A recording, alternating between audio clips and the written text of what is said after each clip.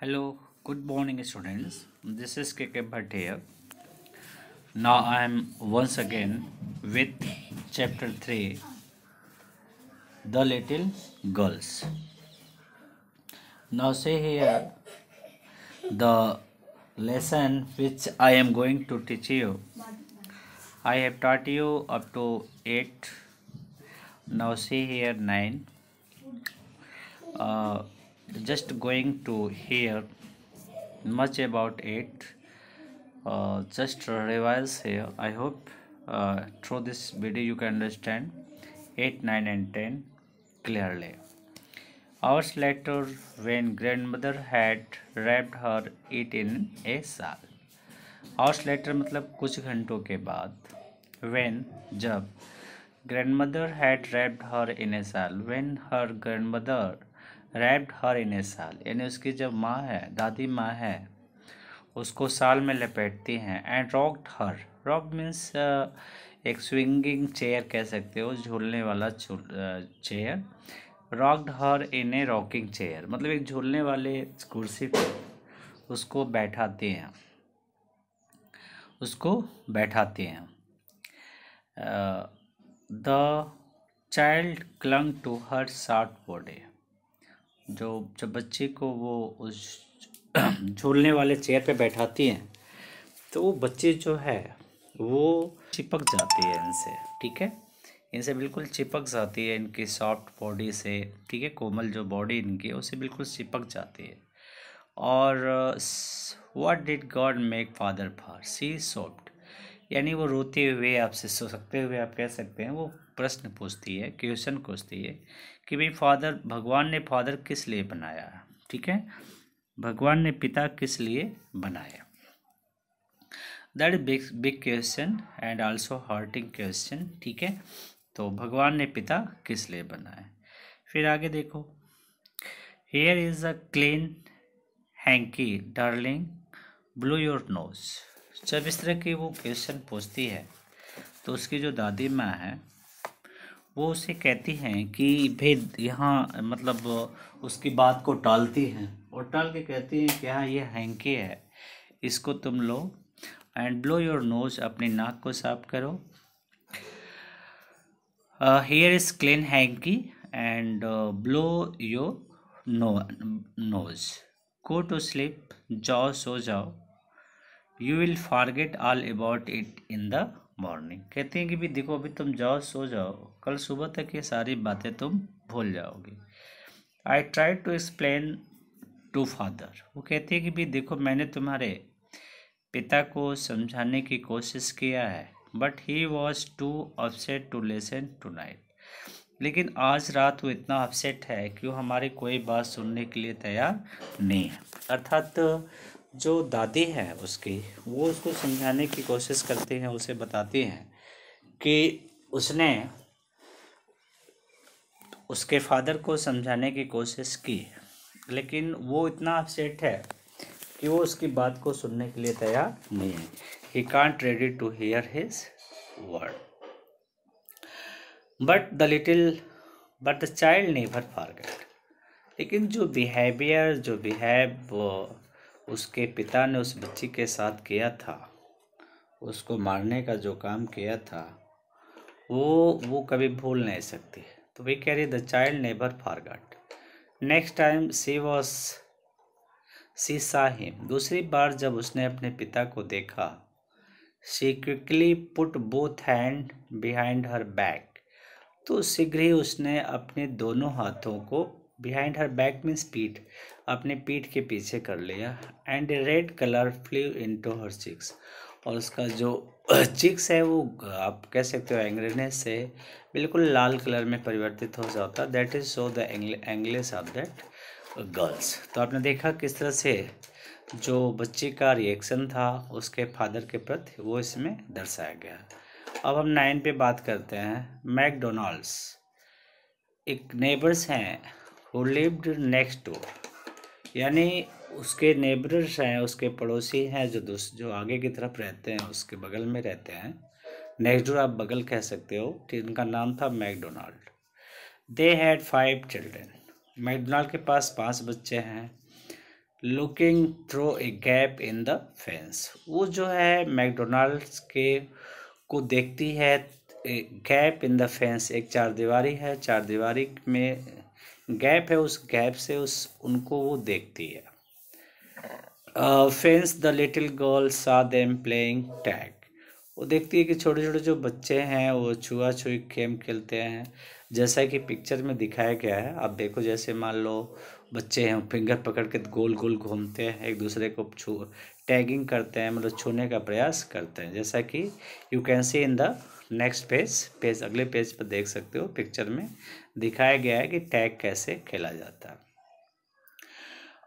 Looking through a gap in the fence the little girl saw them playing tag in the evening यानी शाम को देखती है कि वो बच्चे जो अपने पिता के साथ टैग गेम खेलते हैं। The father with the baby Mao father जो है, एक छोटी बच्ची है, जैसा कि पिक्चर में दिखाया गया है, जिसका नाम माओ है। ऑन हिज शोल्डर्स वो उनके कंधे पर बैठी हुई है। और बाकी जो बच्चे हैं, कोई कोट, कोई फिंगर पकड़ा हुआ, कोई कोट पैक करके वैसे दौड़ रहा है।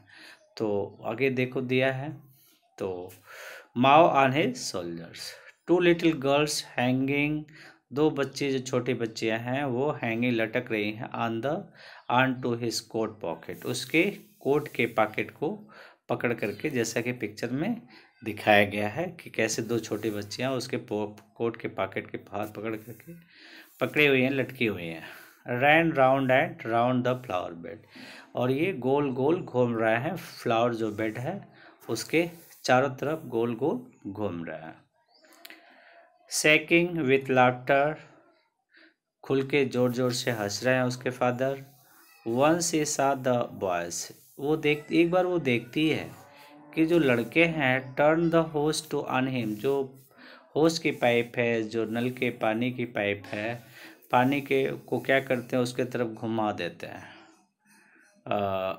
ठीक है? Once saw the boys turn the hose on him यानी जो पाइप है होज की, उसकी तरफ़ घुमा देते हैं।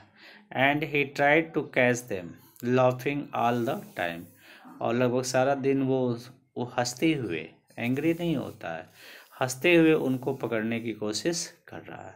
तो that is the different behaviour of a father here soon अब आगे देखो। Then it was she decided तब वो उसने निर्णय लिया।